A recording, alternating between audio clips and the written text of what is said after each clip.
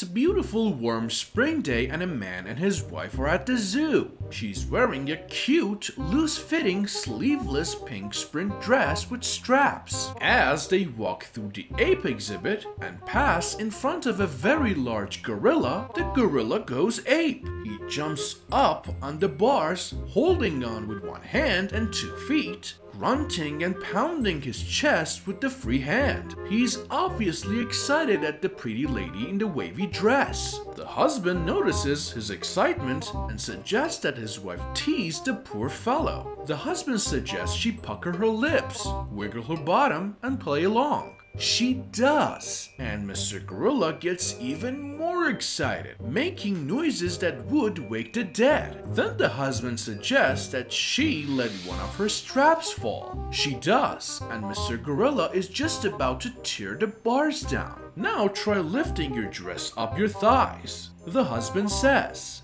This drives the gorilla absolutely crazy. Suddenly, the husband grabs his wife by the hair, rips open the door to the cage, slinks her in with the gorilla, and says, Now tell him you have a headache